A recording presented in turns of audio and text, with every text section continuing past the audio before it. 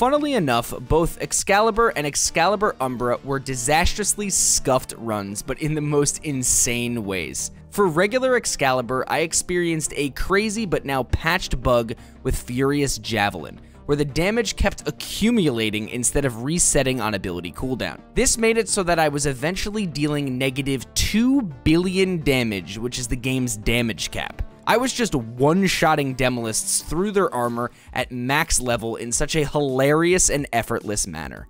Then for Excalibur Umbra, I experienced an operator bug where I became permanently invulnerable and invisible. I messed up my invulnerability by going back into operator, but I was still permanently invisible for the rest of the run. That being said, I don't really think it's fair to rate these two frames for endurance, but man were they both hilariously fun.